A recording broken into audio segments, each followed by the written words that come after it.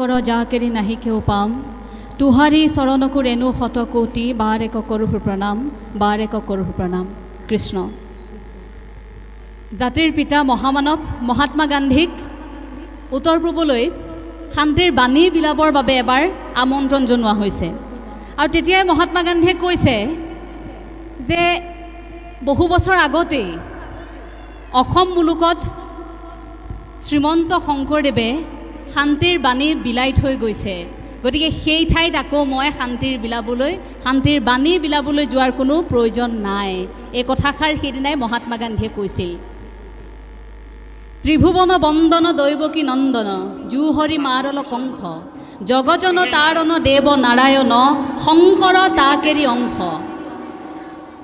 ঈশ্বৰৰ এক অংশ বুলি আমি জগতগুৰু শ্ৰীমন্ত শংকৰদেৱ গুৰুজনাৰ ওপৰত বিশ্বাস ৰাখি এই জাতি জীয়াই আছোঁ।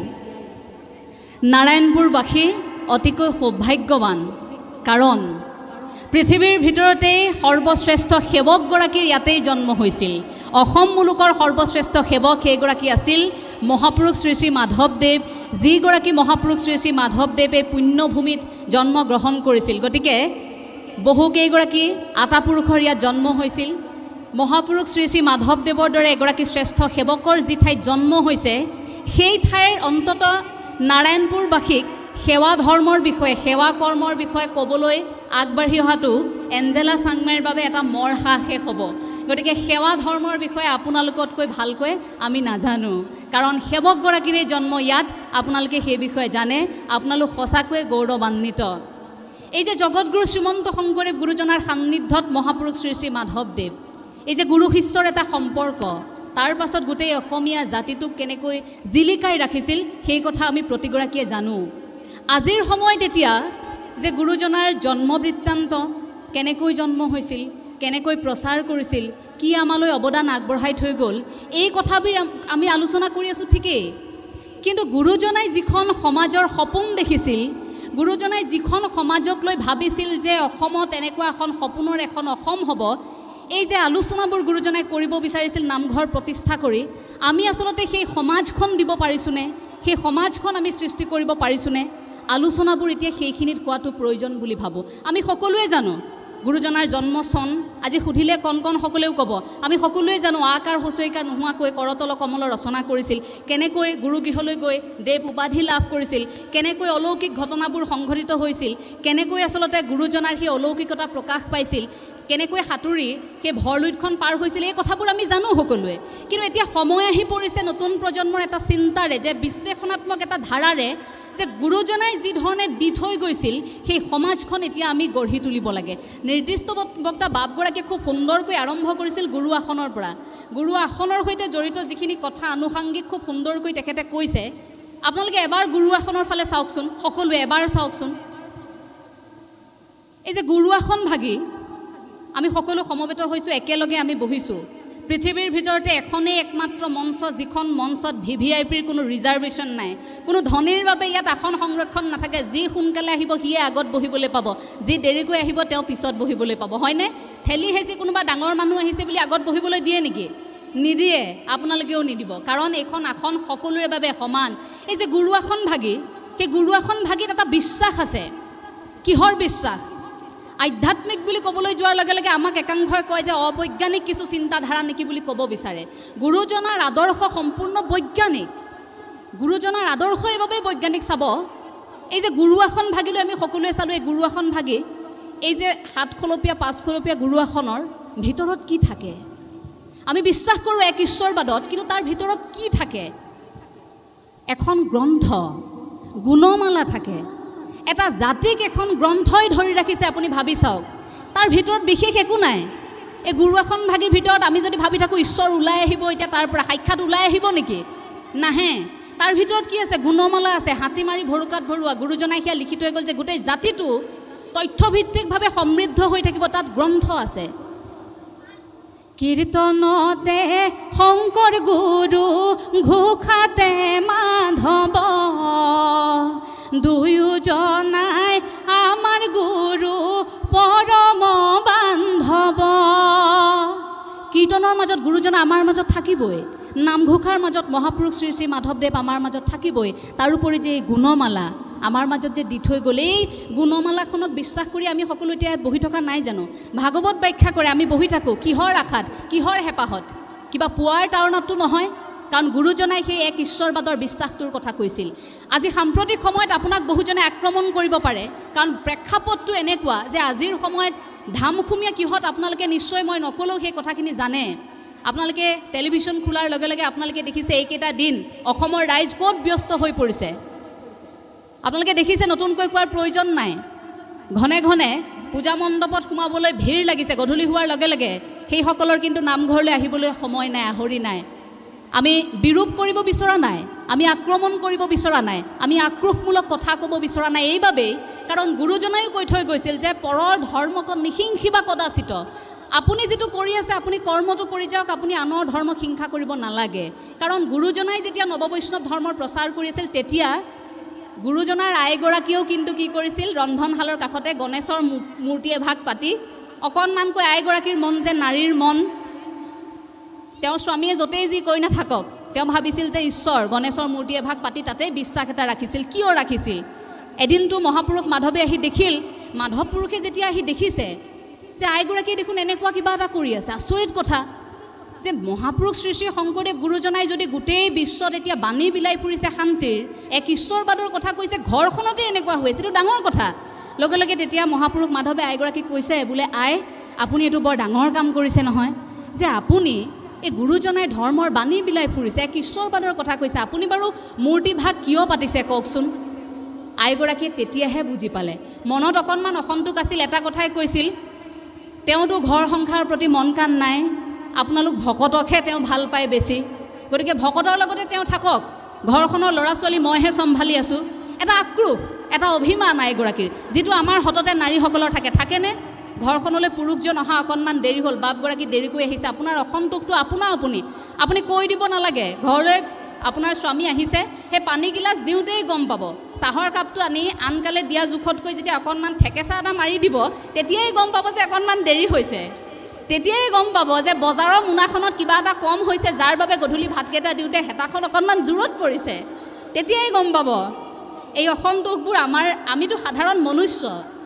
গুৰুজনাই যিবোৰ চৰিত্ৰ উপস্থাপন কৰি থৈ গৈছিল নাৰীকেন্দ্ৰিক তাতো সেই অসন্তোষবোৰ দেখিবলৈ পোৱা গৈছিল। কিন্তু সেইবোৰ আমি ধনাত্মক এটা দৃষ্টিভংগীৰে ল'ব লাগিব। আইগৰাকীও অসন্তোষ কৰিছিল নহয়।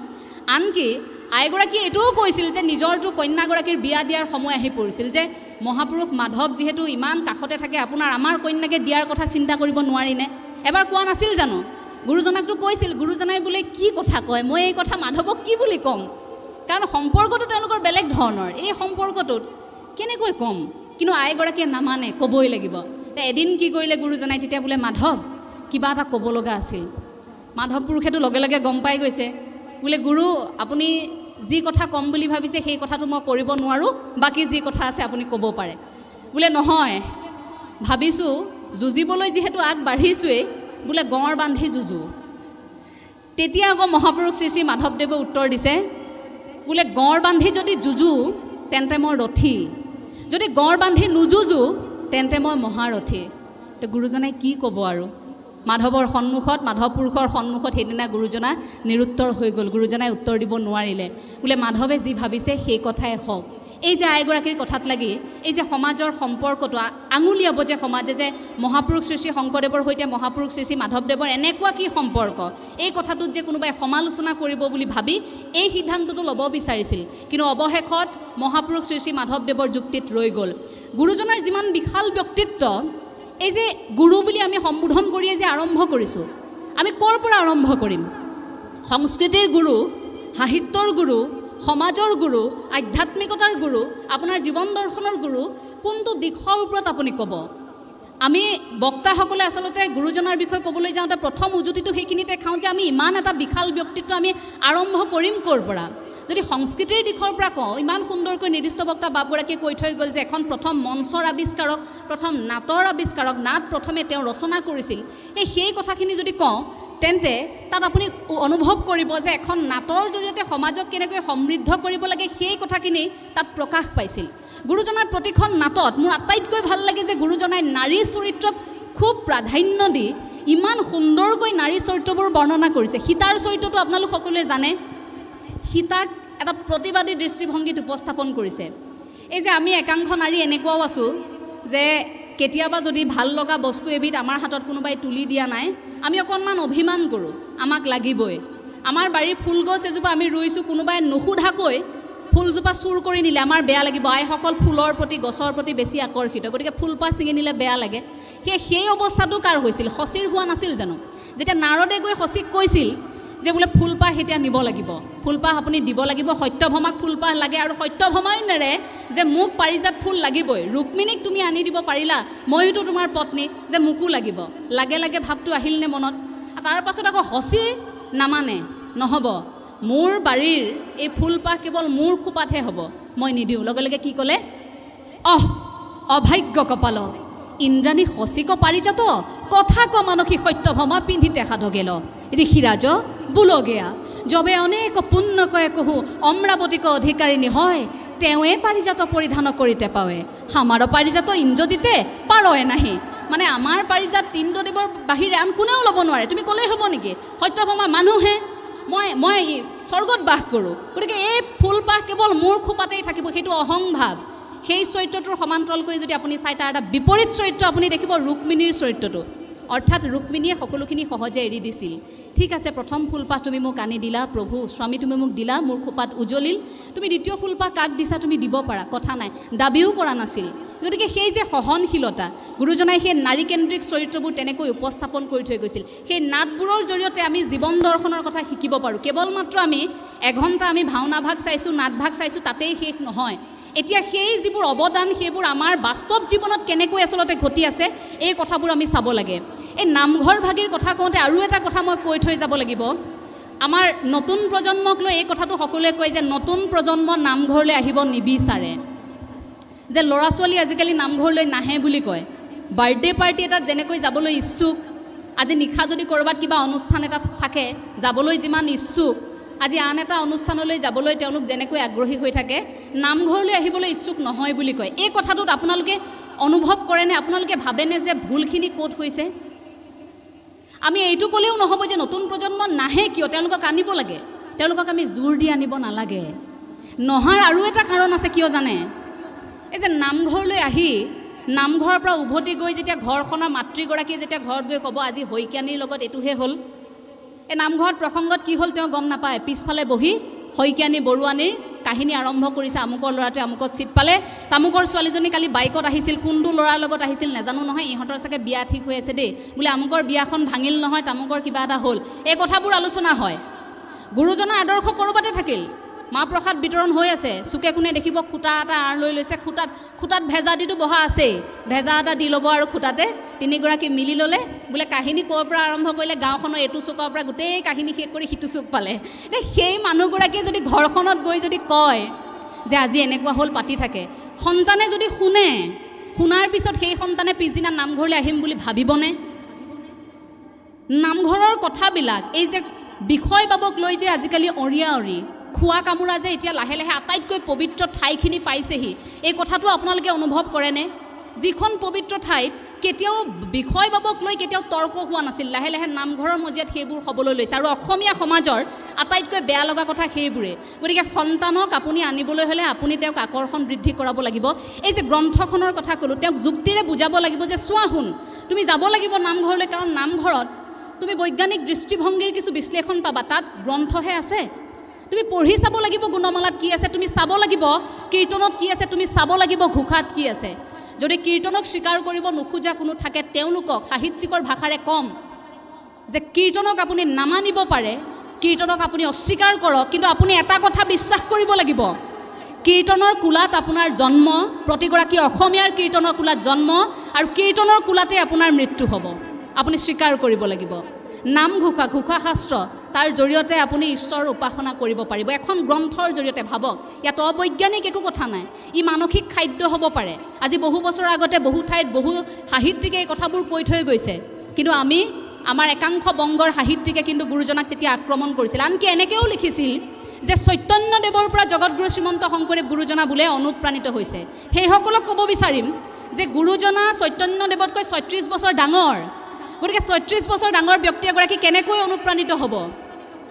কেৱল হৰে কৃষ্ণ হৰি ৰাম মিলিলেই কৃষ্ণ হৰি অ' হৰি ৰাম হৰি ৰাম ৰাম ৰাম এই মিলটো দেখিলেই আমি ক'ব নোৱাৰোঁ যে গুৰুজনা তেওঁৰ তেওঁৰ দ্বাৰা অনুপ্ৰাণিত হৈছে। ছেক্সপিয়ৰতকৈ শ্ৰেষ্ঠ বুলি আমাৰ নিৰ্দিষ্ট বক্তা বাপগৰাকীয়ে কৈ থৈ গৈছে। এই ক্ষেত্ৰত মই জগতগুৰু শ্ৰীমন্ত শংকৰদেৱ গুৰুজনা আৰু ছেক্সপিয়ৰ এটা কাল্পনিক কথোপকথন পাঠ কৰিছিলোঁ আজিৰ পৰা বহু বছৰ আগতে। তাত উপস্থাপন কৰিছিলোঁ যে সঁচাকৈ ছেক্সপিয়ৰতকৈ গুৰুজনা শ্ৰেষ্ঠ। কিন্তু ভুল হ'ল অসমীয়া সমাজৰ যে অসমীয়া সমাজে সেই গুৰু আসনখনৰ পৰা এইখিনিলৈকে এই ঠাইখিনিৰ মাজতেই শংকৰদেৱক ৰাখিব বিচাৰিলে। জগতগুৰু শ্ৰীমন্ত শংকৰদেৱ গুৰুজনাৰ আদৰ্শটোক এই ইমানখিনিৰ মাজতেই ৰাখিলে। গুৰু জয়ন্তী পাতিলে ধৰ্মালোচনী সভা এখন দুই এজন আমাৰ দৰে বক্তাক মাতিলে কথা বতৰা হ'ল ভোজ ভাত খাই সকলো ঘৰা ঘৰি গ'ল নাই পিছদিনাৰ পৰা আমাৰ হাতত অসংখ্য বিকল্প আমি কামে কামে লাগি গ'লোঁ। ৰৈ গ'ল কামখিনি সেইখিনিতে। এইখিনিতে ৰৈ যোৱাৰ বাবেই আমি ক'ৰবাত দুৰ্বল হৈ গৈছোঁ। আমাক সমালোচনা কৰিবলৈ সকলোৱে সুযোগ সুবিধা পাইছে। ঈশ্বৰবাদৰ বিশ্বাসটোৰ কথা যে আমাক ক'লে এক ঈশ্বৰবাদৰ ধাৰণাটো যে আমাক গুৰুজনাই দিলে কিয় দিলে? ঈশ্বৰৰ আকাৰ নাই বুলি যদিও কৈছে গুৰুজনাই কিন্তু এইটোও কৈছে যে কেতিয়াবা জীৱক উদ্ধাৰ নিমিত্তে ঈশ্বৰে কিন্তু আকাৰ লৈও আমাৰ মাজত আহিছে। কাৰণ গুৰুজনাকো আমি ঈশ্বৰৰে এক অৱতাৰ বুলি নাভাবোঁ জানো? চাৰিগৰাকী ব্ৰাহ্মণ গৈছে। গুৰুজনাৰ কাষলৈ। গুৰুজনাৰ কাষলৈ গৈ যুক্তি দিছে বহু সময় যুক্তি চলিছে। চলি আছে বাৰে বাৰে তেওঁ বুজাবলৈ এইটো গুৰুজনাই চেষ্টা কৰিছে যে ঈশ্বৰ নিৰাকাৰ পৰম ব্ৰহ্ম নিৰাকাৰ কিন্তু কেতিয়াবা কেতিয়াবা জীৱক উদ্ধাৰ নিমিত্তে কেতিয়াবা কিন্তু আকাৰ লয়। এই কথাষাৰ বুজাবলৈ চেষ্টা কৰি আছে। বুজাব পৰা নাই। তেতিয়া চান্দ খাই আছিল কাষত। চান্দ খাই বোলে ব্ৰাহ্মণসকল মই আপোনালোকক তিনিটা প্ৰশ্ন সুধিম। বোলে সোধক। প্ৰথম প্ৰশ্নটো সুধিলে যে বেদৰ উৎপত্তি ক'ৰ পৰা? দ্বিতীয় প্ৰশ্নটো সুধিলে যে গংগাৰ সৃষ্টি ক'ৰ পৰা? তৃতীয় প্ৰশ্নটো সুধিলে যে ব্ৰহ্মাৰ সৃষ্টি ক'ৰ পৰা? লগে লগে ব্ৰাহ্মণ চাৰিগৰাকীয়ে উত্তৰ দিছে বোলে বেদৰ সৃষ্টি হৈ গ'ল। বিষ্ণুৰ পৰাই বিষ্ণুৰ মুখৰ পৰা ওলালে বেদ সেই কথাটো ক'লে। বোলে আকৌ গংগাৰ সৃষ্টি কেনেকৈ হ'ল? বোলে নাভিৰ পৰা পদকমলৰ পৰা বোলে ব্ৰহ্মাৰ সৃষ্টি হ'ল। তেনেকৈ বোলে গংগাৰ সৃষ্টি হ'ল। এই কথাষাৰ যেতিয়া উত্তৰটো দিলে তেতিয়া মিচিকিয়া এটা হাঁহি মাৰি গুৰুজনে চান্দ খাই লৈ চাইছে চাই কৈছে যে উত্তৰটো তেওঁ পালে। অৰ্থাৎ যে এজনৰ পৰাই যদি সেই পৰম ব্ৰহ্মৰ পৰাই যদি তিনিভাগ বস্তু ওলাইছে তেন্তে আপুনি ভাবি চাওকচোন আকাৰ আছেনে নাই? এই কথাষাৰ তেতিয়া উত্তৰটো দিছে চান্দখাই গুৰুজনাই এটা সন্তুষ্টিৰ হাঁহি মাৰিছে। এই যে আমি নিৰাকাৰ বুলি যদিও কৈছোঁ কৃষ্ণ সংস্কৃতি ই নিৰাকাৰ যদিও আমি এখন বুকুত ছবি লৈ ফুৰিব লাগিব অন্ততঃ গুৰু আসনৰ ছবিখন লৈ ফুৰিব লাগিব। ভাৰতবৰ্ষৰ মানুহৰ হাতত বিকল্প অসংখ্য আছে। আজি এইজন বাবা সন্তুষ্ট হোৱা নাই আন এজন বাবাৰ ওচৰলৈ যাব। যাবনে? অনলাইনতে আজিকালি ভগৱানক পাব পাৰি। অনলাইনতে সেৱা এটা কৰি দিয়ে হ'ল। আৰু কাষত থকা এঘৰেতো ক'বই যে হেৰি নহয় এটা কাম কৰ। তহঁতৰ ছোৱালীজনী বেমাৰ ভাল হোৱা নাই ডক্টৰৰ ওচৰত নিব নালাগে ৰ প্ৰথমে এটা কাম কৰ। সেই শৰাই এভাগ আগবঢ়াই থৈচোন বাবাৰ ওচৰত অনলাইন দিলেও হয় বোলে। যাবি। কয়নে সঁচা কথা কিন্তু এইখিনি ৰাইজে এতিয়া সমালোচনা বুলি ভাবিব কিন্তু গঠনমূলক সমালোচনা বুলি আপোনালোকে লগ কৰেনে এটা বিকল্প এইটো আমাৰ দুখ নহয় কাৰণ ভাৰতীয় সভ্যতা সংস্কৃতিত আমাৰ অসংখ্য বিকল্প আছে। আমি এজনৰ ওচৰত আজি সন্তুষ্ট হোৱা নাই কাইলৈ আৰু এজনৰ ওচৰলৈ আমি যাব পাৰোঁ। কিন্তু আমাক জগতগুৰু শ্ৰীমন্ত শংকৰদেৱ গুৰুজনাই সেই বিশৃংখলতা আমাৰ মাজত সৃষ্টি নহওক বুলি ধৰ্মৰ বাহুল্যতাত আমি কেতিয়াবা নিজক হেৰুৱাই নেপেলোৱা এটা পৰিস্থিতি আহক। সেইবাবে কি কৰিছিল যে নামঘৰ ভাগ প্ৰতিষ্ঠা কৰি এই নামঘৰ ভাগত এক ঈশ্বৰবাদৰ সেই ধাৰণাটো দিছিল যে এজন ঈশ্বৰতে তুমি ভকতি কৰা তুমি মানৱ সেৱা কৰা। এই যে সেৱা কৰাৰ কথাটো ক'লোঁ সেৱা ধৰ্মৰ কথা ক'লোঁ পৃথিৱীত এইটোৱে আটাইতকৈ শ্ৰেষ্ঠ ধৰ্ম। আমি যে এতিয়া নৈবেদ্য আগবঢ়াওঁ আমি যে মাহ প্ৰসাদ প্ৰথমে গুৰুজনালৈ আগবঢ়াওঁ। আমি কেতিয়াবা দেখিছোঁ নেকি যে ভগৱানে আহি সেই প্ৰসাদ খাই আছে? আমিতো দেখা নাই। তাৰ পাছতো একাংশই গৈ মন্দিৰত সেই প্ৰসাদ আগবঢ়ায়। কিন্তু এটা বিশ্বাস নহয় জানো? কেতিয়াবা ওলাই আহি ভগৱানে খায় নেকি প্ৰসাদ? কিন্তু সেই প্ৰসাদ যদি আপুনি কেতিয়াবা আৰ্তজনক দিয়ে এই দুখীয়া নিচলা এগৰাকী ব্যক্তিক যাৰ ঘৰত দুবেলা দুমুঠি খাবলৈ নাই সেই ব্যক্তিগৰাকীক যদি আপুনি এসাঁজ খুৱাইছে ঈশ্বৰ ধৰ্ম সেয়াই। আপুনি নামঘৰলৈ আহি আজি ভাগৱত অনুষ্ঠানটোত থাকিব পৰা নাই। কিন্তু তাৰ পৰিৱৰ্তে আপুনি আজি যদি আৰ্তজনক ক'ৰবাত সহায় কৰিছে ক'ৰবাত যদি ৰক্ত দান কৰিছে আপোনাৰ সেয়া সেৱা সেয়া ঈশ্বৰে পাব। সেৱা বুলি কোৱাৰ লগে লগে মই আৰু এটা কথা এইখিনিতে উনুকিয়াবলৈ পালে ভাল পাম যে শ্ৰীমন্ত শংকৰদেৱ সংঘই সেৱা কৰিবৰ বাবে আমাৰ যুৱকসকলক এটা সুবিধা দিছে। সেই সুবিধা কি জানেনে? সকলোৱে জানে সেয়া হৈছে সেৱা বাহিনী। গতিকে সেৱা বাহিনীৰ যিসকল ইয়াত সেৱক সেৱিকা আছে সেইসকল সেৱক সেৱিকাক অন্তৰৰ পৰা কৃতজ্ঞতা জনাইছোঁ। সেৱা আৰু বাহিনী এটা সংগঠন। সেৱা চাওক আপোনালোকে নাভাবিব যে শ্ৰীমন্ত শংকৰদেৱ সংঘত কেৱল সেৱা বাহিনীক এই অধিৱেশনত পাত পেলাবলৈ নিয়ে। আপোনালোকে নাভাবিব আপোনালোকৰ সন্তানক যে পঠিয়াই কেৱল মাত্ৰ অধিৱেশনত কাম কৰিবলৈ ল'ৰা ছোৱালীকেইটাক নিলে সেয়াই সেৱা বাহিনীৰ সিমানতে দায়িত্ব সেই সেয়া নাভাবিব। সেৱা ই মানুহৰ সেৱা কৰিবলৈ শিকায় সেৱা কৰ্ম কৰিবলৈ শিকায় সেৱা বাহিনীয়ে। যিসকল পিতৃ মাতৃয়ে এতিয়ালৈকে আপোনালোকৰ সন্তানক সেৱা বাহিনীত পঠিওৱা নাই সেইসকলক অনুৰোধ জনাম অন্ততঃ আপোনালোকৰ সন্তানক সেৱা বাহিনীলৈ এইবাবেই পঠিয়াব যে আপোনালোকৰ সন্তানে মানুহ চিনিবলৈ শিকিব নিজকে মানুহ বুলি গঢ়িবলৈ শিকিব কাৰণ এতিয়া যুঁজখন মানুহ হোৱাৰ। আমি দুঠেঙীয়া হ'ব পাৰোঁ চকু দুটা থাকিব পাৰে নাক থাকিব পাৰে এটা চুলি দি আমাৰ এই মস্তিষ্ক থাকিব পাৰে কিন্তু এই ভিতৰত যদি একো নাথাকে লাভ নাই। এই শৰীৰটো লৈ থাকি লাভ আছে নেকি? যদি মোৰ মানৱ কৰ্মই মই নকৰোঁ মই শিষ্টাচাৰেই যদি নাজানো মই আজি খুব উচ্চ পদবীত আছোঁ কিন্তু মই মানুহক সন্মান কৰিবই নাজানো মোৰ কিবা জীয়াই থাকি লাভ আছে নেকি? মানুহ হৈ কিবা লাভ আছে নেকি? মই আজি কোটি টকাৰ গৰাকী কিন্তু মই মানুহ নাই মোৰ কাষত কোনো নাই মোৰ লগত আত্মীয় মোৰ পৰিয়ালৰ লোক কোনো নাই মই অহংকাৰী মই জীৱনটো জীয়াই থাকিব পাৰিমনে তেনেকৈ? নোৱাৰোঁ মানুহ হ'ব লাগিব। আৰু সেই মানৱ ধৰ্ম শিকিবৰ বাবে অন্তত আপোনালোকে সেৱা বাহিনীত আপোনালোকৰ সন্তানক পঠিয়াব। সেৱা বাহিনীৰ সেৱা কৰ্ম একদম সৰু সৰু মই যদি সাধাৰণভাৱে বুজাওঁ যিসকল ইয়াত সেৱা বাহিনীৰ প্ৰতি আগ্ৰহী সেৱক সেৱিকা আছে এই যে আপোনালোকৰ আজি দায়িত্ব পৰিলে ধৰি লওক ভোজনালয়ত আপোনালোকে পাত পেলাব লাগে। সেইটো কিন্তু বেয়া কৰ্ম নহয় দেই কাৰণ ভগৱান শ্ৰীকৃষ্ণই পাত পটোৱা পেলোৱা সেই দায়িত্বভাৰে লৈছিল। গতিকে সেই কৰ্মভাগ আজি আপোনাৰ ভাগত পৰিলে। সেৱা সেৱা। আপোনাৰ ভাগত আজি পৰিলে যে ৰাস্তাৰে কেইবাখনো যিহেতু গাড়ী আহিব গাড়ীখিনি কেনেকৈ পাৰ্ক কৰিব লাগিব সেইটো আপুনি চাই দিছে। আপুনি তাত সেৱা। আপোনাক ক'লে যে বহি থকা ভকতসকলক অকণমান চাহ দিয়াত সেৱক সেৱিকাসকলে সহায় কৰিব লাগে। উঠ আহকচোন কেইগৰাকীমান সেৱক সেৱিকা লগে লগে আপুনি চাহ দিয়া কামটোত লাগি গ'ল। সেয়া আপোনাৰ সেৱা। মই সৰু সৰু কিছু উদাহৰণ দিছোঁ বুজি পাবৰ বাবে যে সেয়া সেৱা সেৱা বাহিনী আজিৰ তাৰিখত মই এতিয়া কথা কৈ থাকোঁতেই ৰক্তদান কৰি আছে। সেইসকল সেৱা বাহিনীৰ ল'ৰা ছোৱালী আমাৰ সেৱক সেৱিকা প্ৰতি মুহূৰ্ততে সক্ৰিয় হৈ আছে। পৃথিৱীৰ কোনো এটা প্ৰান্তত আধ্যাত্মিক এটা অনুষ্ঠানৰ ইমান বিশাল এনে এটা দল নাই যিটো দলৰ যুৱক যুৱতীয়ে এনে কৰ্ম কৰি আছে। গতিকে আমি গৌৰৱান্বিত। আমাৰ বাবে এই পদক্ষেপটো গ্ৰহণ কৰিছিল শ্ৰীমন্ত শংকৰদেৱ সংঘই। শ্ৰীমন্ত শংকৰদেৱ সংঘৰ কৰ্ম আঁচনিত হৃদপিণ্ড স্বৰূপ বুলি উল্লেখ কৰিব বিচাৰিম যে হৃদপিণ্ড হৈছে শ্ৰীমন্ত শংকৰদেৱ সংঘৰ সেৱা বাহিনী। কাৰণ যুৱ সংগঠনটো যেতিয়ালৈকে থাকিব তেতিয়ালৈকেহে এয়া মজবুত হৈ থাকিব গোটেই শ্ৰীমন্ত শংকৰদেৱ সংঘ। গতিকে সেই ক্ষেত্ৰত সেৱা বাহিনীৰ অংশগ্ৰহণ আটাইতকৈ গুৰুত্বপূৰ্ণ। সেৱাৰ কৰ্মৰ প্ৰতি আপোনালোকে আকৰ্ষিত কৰক। আইসকলক ক'ব বিচাৰিম যে আধ্যাত্মিক গোটেই পৰিৱেশটো আপোনালোকৰ ঘৰখনৰ পৰা সৃষ্টি হয়।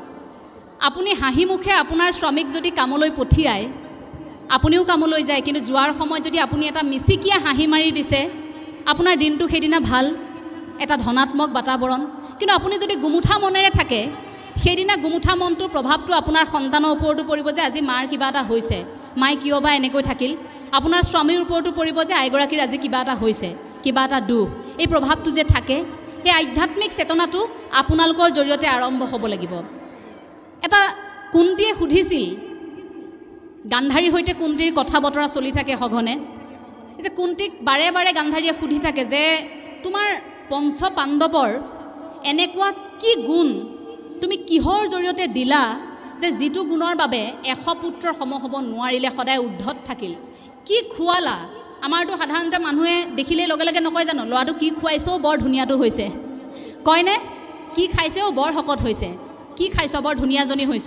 এই কথাটোৱে নকয় জানো? গতিকে গান্ধাৰীয়েও তেনেকৈ সুধিলে যে কিনো খুৱাইছে ইমান? ইমান ভাল ল'ৰা ছোৱালী হ'ল। তে এই যে কি খুৱাইছে বুলি কথাটো সোধাৰ লগে লগে তেতিয়া ইমান সুন্দৰ এটা উত্তৰ দিছে। উত্তৰটো কেনে আছিল জানেনে? যে প্ৰসাদ যেতিয়া ৰান্ধিছিল তেতিয়া ঈশ্বৰৰ নামত এমুঠি প্ৰসাদ ৰাখি থৈছিল। এই যে আমি গুৰু দেও নাম ভকত সেই অনুপাতে আমিও এমুঠি প্ৰসাদ শ্ৰীমন্ত শংকৰদেৱ সংঘৰ প্ৰতিগৰাকী সংগীয়ে ৰাখি নথওঁ জানো? সেই প্ৰসাদ মুঠি সেই চাউল মুঠি যে আমি আগবঢ়াই থওঁ সেই চাউল মুঠিৰ কথা কৈছে। তেনেকৈ এমুঠি আগবঢ়াই থৈছিলোঁ আৰু তেনেকৈ ৰান্ধিছিলোঁ যে ঈশ্বৰৰ বাবে সেয়া এমুঠি আগবঢ়াই লৈছিলোঁ আৰু আমাৰ সন্তানে সেই প্ৰসাদেই খাইছিল ৰান্ধি দিয়া। খুব সুখ মনেৰে। সেইকাৰণে আমাৰ সন্তান ঈশ্বৰ প্ৰাপ্তি হ'ল ঈশ্বৰে কৃপা কৰিলে। গতিকে সেই যে এমুঠি চাউল আপোনালোকে সদায় ৰান্ধোতে যে আগবঢ়াই থৈ যাব লাগে সেই কথাটো নাপাহৰিব। এইটো মনত ভাৱ নানিব যে সেই এমুঠি চাউল শ্ৰীমন্ত শংকৰদেৱ সংঘৰ আপোনালোকৰ আঞ্চলিকৰ সভাপতি আপোনালোকৰ জিলাৰ সভাপতি সম্পাদকে সেই চাউলমুঠি খাই দিলে। সেইটো নাভাবিব যে শ্ৰীমন্ত শংকৰদেৱ সংঘৰ কেন্দ্ৰীয় সমিতিয়ে এই খাই দিলে চাউলমুঠি। এমুঠি এমুঠি চাউল চেচ চাউলখিনি দি আছোঁ। ক'লৈ গৈছে চাউল ঠিকনা নাই। খাই দিছে চাউল। পইচা মাৰিছে। এই কথাটো এই কথাবোৰ যে টুলুঙা কথা কিন্তু এই চিন্তাবোৰ আহে নাই কিছু লোকৰ মনত। সদায় চাউল দি আছোঁ ক'লৈ গৈছে চাউল? সেয়া ঈশ্বৰৰ দান বুলি ভাবিব এইবাবেই যে আপুনি সেয়া যদি তেনেকৈ নিদিয়ে তাপ আপুনি এটা কামো কৰিব পাৰে। আমাৰ সুবিধা যে আমি এটা অনুষ্ঠানৰ ভিতৰত আছোঁ গতিকে আমি এটা সৎ কামত লগাইছোঁ। যিসকল শ্ৰীমন্ত শংকৰদেৱ সংঘৰ সংগী নহয় সেইসকলেও সেই কাম কৰিব পাৰে আৰু মাহৰ মূৰত যেতিয়া আপোনালোকৰ চাউলখিনি গোট খাব সেই চাউল যিগৰাকীৰ ঘৰত এমুঠি খাবলৈ নাই যিগৰাকীৰ ঘৰত নিশা চাউল মুঠিৰ বাবে চিন্তা কৰিবলগীয়া হয় সেই ব্যক্তিগৰাকীৰ হাতত আপুনি এমুঠি এমুঠিকৈ থৈ যোৱা সেই চাউলৰ টোপোলাটো আপুনি তুলি দিব। আৰু সেই ব্যক্তিগৰাকীয়ে যিটো সন্তুষ্টিৰ হাঁহি মাৰিব সেয়াই আপোনাৰ আশীৰ্বাদ সেয়াই আপোনাৰ পৰোপকাৰ। আমি এটা অনুষ্ঠানৰ ভিতৰত আছোঁ সেয়া শ্ৰীমন্ত শংকৰদেৱ সংঘ। আমি বছৰি কিবা এটা আগবঢ়াই আছোঁ আৰ্থিক সাহাৰ্য। আগবঢ়াইছোঁনে? আচৰিত হওঁ যে কেৱল মাত্ৰ বছৰটোত আমি দুটকা দিব লাগে সেৱা বাহিনীৰ বাবে। দুটকা। ফুচকা খাওঁতে দহ টকা যায়। চিপছৰ পেকেট এটাত পাঁচ টকাৰ পৰা দহ টকা বিছ টকা যায়। ল'ৰা ছোৱালীয়ে প্ৰতিদিনে কিমানটা চিপছৰ পেকেট খায়? আপোনাৰ সন্তানক বছৰত আপুনি দুটা চিপছৰ পেকেট খোৱা কম কৰি দিয়ক। সেই দহ টকাটোওতো আপুনি দান দিব পাৰিব। পাৰিবনে? বছৰত দুটকাটো দিবলৈ ইয়াত থকা কাৰোবাৰ অসুবিধা নেকি? নিশ্চয় নহয়। আপোনালোকৰ মনটো নিশ্চয় বহল যে সেই দুটকাটো অন্ততঃ আমি দিব পাৰিম। সেই যে এটকা দুটকাকৈ অনুদানবোৰ উঠে তেনেকৈ শ্ৰীমন্ত শংকৰদেৱ সংঘই গঠনমূলক কাম কৰি আছে। কাৰণ এতিয়া শ্ৰীমন্ত শংকৰদেৱ সংঘ মাহ প্ৰসাদ খোৱাত ব্যস্ত হৈ থকা নাই। কাৰণ শ্ৰীমন্ত শংকৰদেৱ সংঘই শিক্ষাৰ বিপ্লৱ কৰিছে শিক্ষাৰ আন্দোলন কৰিছে। কেনেকৈ? মহাপুৰুষ শ্ৰীমন্ত শংকৰদেৱ বিশ্ববিদ্যালয়ৰ জৰিয়তে অৰ্থনৈতিকভাৱে স্বাৱলম্বী কৰিছে ক্ষুদ্ৰ উদ্যোগ গঢ়ি। ধূপৰ উদ্যোগ গঢ়িছিল কেইটামান দিন আগেয়ে এতিয়াও শ্ৰীমন্ত শংকৰদেৱ সংঘৰ প্ৰতিখন অধিৱেশনৰ আগত কি হয়? পাচলি কিনি আনিবলগীয়া নহয় বাহিৰৰ পৰা। ভকতসকলে নিজেই খেতি কৰে। সেই পাচলি খেতি কৰে। ধান খেতি কৰি সেই ধান কাটি সেই চাউল আনি সিদ্ধপ্ৰসাদ সিজাই ভকতক দিয়ে। গতিকে সেয়া কৰ্ম সংস্কৃতিৰ নিদৰ্শন। গতিকে সেইখিনি আমাৰ হাতত আছে। আমি এতিয়া মাত্ৰ সহযোগিতা আগবঢ়োৱাৰ সময়। আলোচনা আমাৰ মাজত বহুত থাকিব সমালোচনা আমাক বহুত থাকিব। সমালোচনা মহাপুৰুষ শ্ৰী শ্ৰী মাধৱদেৱক কোনোবাই কৰা নাছিল নেকি? কৰিছিল। মহাপুৰুষ শ্ৰী শ্ৰী মাধৱদেৱক গুৰুজনা ঢুকাই যোৱাৰ পাছত গুৰুজনা নোহোৱা হৈ যোৱাৰ পিছত ইমান পৰ্যন্ত সমালোচনা কৰিছিল যে মহাপুৰুষ শ্ৰী শ্ৰী মাধৱদেৱ আঁতৰি যাবলগীয়া হৈছিল কেইটামান দিন। আমিতো সাধাৰণ মনুষ্য। কলিকালত জন্ম হোৱা এনে মনুষ্য আমাৰ হাতত সমালোচনা থাকিবই আমি প্ৰতিটো খোজত সমালোচনা থাকিবই। কিন্তু তাৰ মাজত মানুহ হোৱাৰ সেই যুঁজখন প্ৰথম। অহংকাৰী নহ'ব। অহংকাৰী মনটোৱে আমাক ক'ৰবাত শেষ কৰি দিব। অহংকাৰ নাৰদে কৰিছিল। নাৰদে কেনেকৈ কৰিছিল? নাৰদেতো গীত গায় সুৰ কৰে নিজে। নাৰদে ভাবি থাকে মই বিৰাট ভাল গাওঁ খুব ভাল গাওঁ মই। তো নাৰদে গীত গোৱাৰ লগে লগে কি হয় কাঠ পচি যায় শিল গলি যায় সাগৰত ঢৌ উঠে পানী উফন্দি উঠে। তো নাৰদে ভাবে যে কি মই ইমান ভাল গাওঁ মোতকৈ ভাল গোৱা আৰু কোনো নাই। তো এদিন নাৰদে গীত গাই গাই স্নান কৰি আছে। তো তেনেকুৱাতে দেখিলে যে শিল এটুকুৰা ওপৰত উঠি কপিকুলে গীত গাই আছে অৰ্থাৎ এটা বান্দৰে গীত গাই আছে। আৰু ইমান ধুনীয়াকৈ গাইছে আচৰিত হৈ গ'ল যে নাৰদেতো তেওঁৰ বীণাখনি কাষতে থৈছিল। তাৰ পাছত দেখিছে যে নাৰদে গীত গাই আছে গীত তেওঁ গীতটো গাই আছে। নাৰদটো আচৰিত হৈছে যে মোতকৈ ধুনীয়াকৈ গাব গীত গাব পৰা ইয়াত কোনোবা ওলাল। আচৰিত হৈছে অকণমান। আৰু মনে মনে অকণমান লাজো পাইছে। অহংকাৰী মনটো কিন্তু শেষ হোৱা নাই তেতিয়াও। তাত দেখিছে যে লাহে লাহে কি কৰিছিল তেওঁ যি ঠাইত তেওঁ বাদ্যযন্ত্ৰ ৰাখিছিল তেওঁ বাদ্যযন্ত্ৰ ভাগ কি হৈ আছে তেতিয়া এই যে কপিকুলে বান্দৰে যেতিয়া গীত ভাগ গাই আছে শিলটো কি হ'ল? গলি গলি গলি গলি সেই তেওঁৰ বাদ্যযন্ত্ৰ ভাগ আধা পুতি পেলালে। তাৰ পাছত এতিয়া নাৰদে উঠি অহাৰ পিছত ভাবিছে তেতিয়াও ভাবি আছে দেই নাৰদে মইতো গীত গালে এনেও আকৌ শিল গলি যাব এনেওতো কাঠ পচি যাব মই আকৌ গীত গাম মোৰ বাদ্যযন্ত্ৰ ভাগ উলিয়াই ল'ম। নাৰদে গীত গাইছেহে গাইছে। সুৰ লগাইছেহে লগাইছে কিন্তু পৰা নাই। নাৰদে গীত ইমানেই গাইছে তথাপিও ইমান শুৱলাকৈ গাইছে তথাপিও কিন্তু শিল গলাব পৰা নাই। মনত যে অহংভাৱটো আছে তাৰ পাছত কি কৰিলে? সি কপিকুলৰ ওচৰত সেৱা লৈ বোলে আপুনি মহান মোক এটা সহায় কৰকচোন। যে আপুনি যে গীত ভাগ গালে আপুনি গীত গোৱাৰ লগে লগে যে শিল গলি গ'ল কাঠ পচি গ'ল নৈত যে ঢৌ উঠিল বিলত যে ঢৌ উঠিল আমি গালোঁ তেনেকুৱা হৈছিল কিন্তু আজি কিয় হোৱা নাই? মোক এই কথাটো কওকচোন। তেতিয়া তেতিয়া বান্দৰটোৱে কৈছে যে আপুনি যেতিয়া আগতে গীত গায় আপুনি আনন্দ মনেৰে গায় তাত কোনো আপুনি স্বাৰ্থ নাৰাখে। কিন্তু আপুনি এতিয়া যেতিয়া গীত গাইছে আপোনাৰ স্বাৰ্থ আছে যে কি আপোনাৰ বাদ্যযন্ত্ৰ ভাগ শিলৰ মাজত ফচি আছে। শিলৰ মাজত সোমাই আছে শিলটো গলাব লাগে গীত গাই গলাব লাগিব তাৰপাছত মই লৈ ইয়াৰ পৰা যাম। গতিকে এটাতো স্বাৰ্থ আছে সেই স্বাৰ্থটো আছে বাবেই আপোনাৰ গীতটো সফল হোৱা নাই।